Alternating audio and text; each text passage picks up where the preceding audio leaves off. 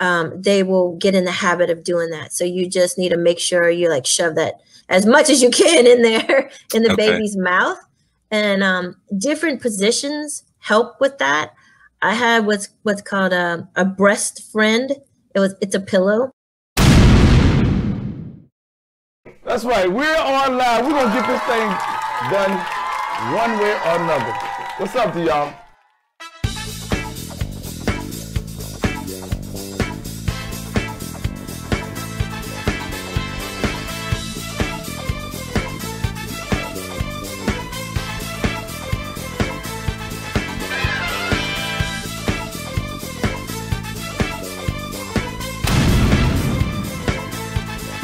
Uh, give give the, the, the the the audience some tips on how they how how you were able to breastfeed uh, your kids. Yeah, there are a lot of them that don't know how to do that. So go ahead. Well, don't let anybody tell you that you can't breastfeed. Um, a lot of times, you might need some support in the beginning when it like when I gave birth to my daughter. I um, was induced, so I um, the medicine that they gave me to for the inducing um, of the contractions and stuff, mm. they believe affected the baby in that she wasn't sucking very well. Mm. So the first few days, um, she wasn't latching on. And I had that La Leche League woman in my house. And she was, we had practiced how to hold the baby so it can get a good suction we talked about nipple care. We talked about all kind of stuff. But she was in my bedroom when i brought the baby home and she was uh, giving me tips on on you know hold the ba- baby's head this way. So so i tried the first thing i tried was to lay on my side and have the baby um, nursed that way. Mm-hmm. and um, once the baby got the idea of sucking, which we, the first few days, we did have to use what's called a nipple shield, which helps the baby latch on easier.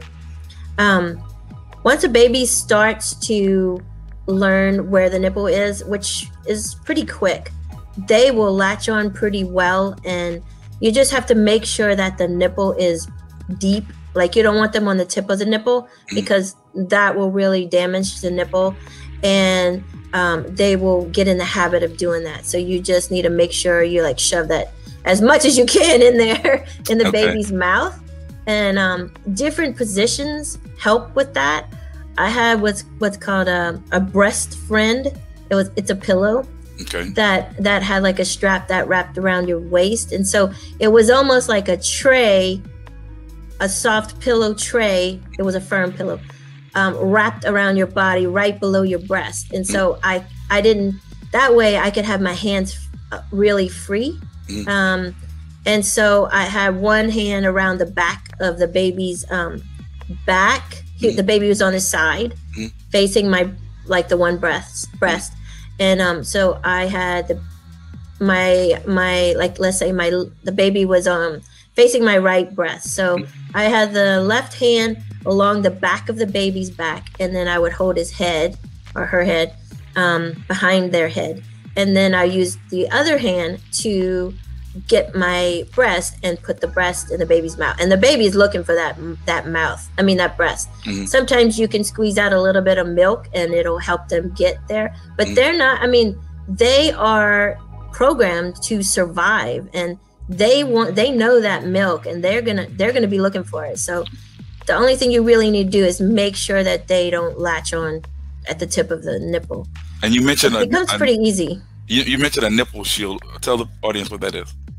So a nipple shield is sometimes if your nipples aren't um, protruding enough like you know there's all different kind of nipples right? Mm-hmm. um, some people have nipples that are really long, and those are easier to get into the baby's mouth, but those are the ones that have the problems where the, the baby just wants to lash onto the nipple.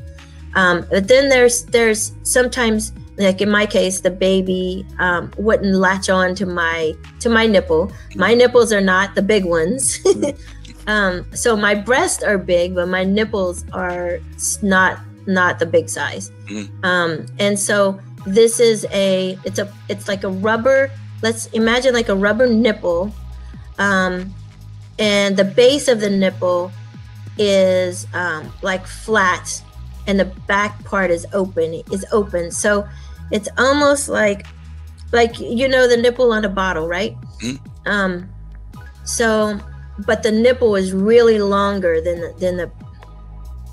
Now let's see. I'll there's different types of bottles. Um, So the the bottles that have the nipples that are long, okay. Right. Let's just say you pull that rubber thing off the bottle. That's what a nipple shield looks like Oh, I got you. except it's flatter and the and the and the flat part instead of it being on a bottle it's laid over the mother's nipple so I got you.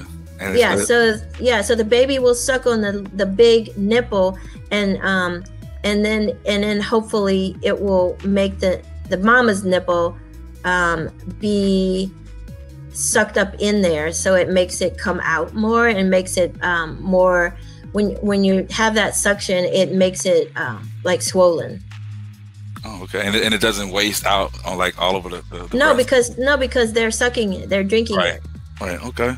and then you can take it off and then and then they'll they'll um they'll have a better suction on that that that nipple Great tips. Great tips.